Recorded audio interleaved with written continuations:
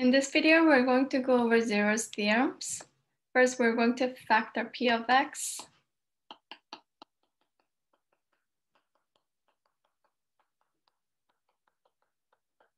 Let's call this part r of x.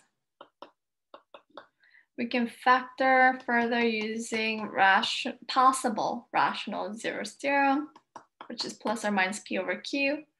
I can factor 4 out using 1 times 4, 2 times 2 could be plus or minus, right? So our p will be 1 comma 2 comma 4. And the factor of 1 will be just 1 times 1, so our q will be 1.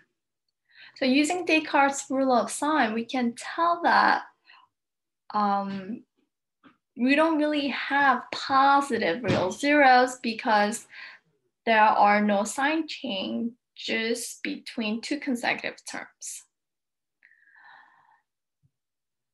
We have plus 1x to the fourth plus 2x cubed plus 5x squared and so on.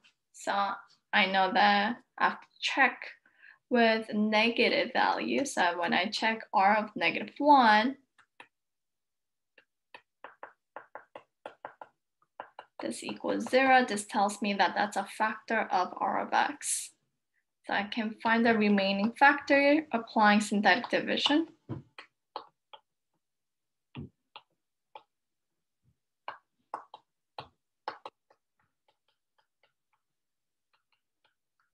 One degree less from R of X will be X cubed plus X squared plus 4X plus four. So we can say that factor will be 2x times x plus 1 from the remaining theorem, and x cubed plus x squared plus 4x plus 4 from synthetic division. Let's call this part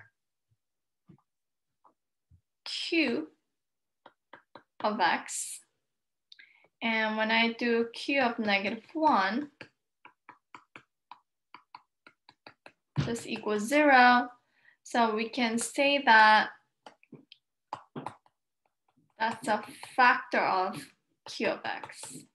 And we just need to find the remaining factor after applying synthetic division. We have 1144 as our coefficients.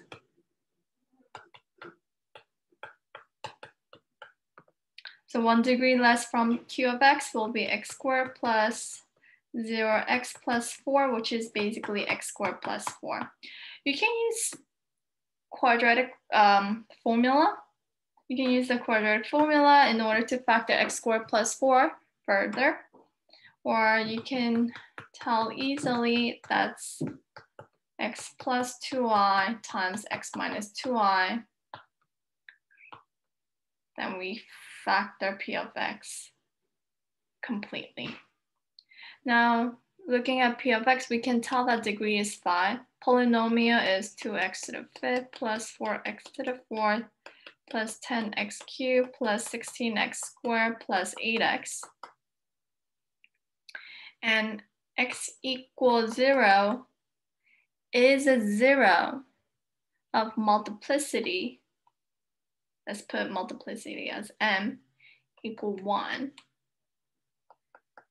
negative 1 is a zero of multiplicity 2 because we have 2 here.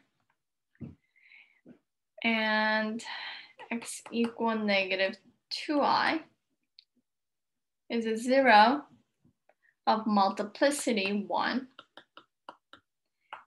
x equal positive 2i is a zero of multiplicity one because it's raised to first power up here, right? So if you add these multiplicities, you can tell that numbers of zeros will be five.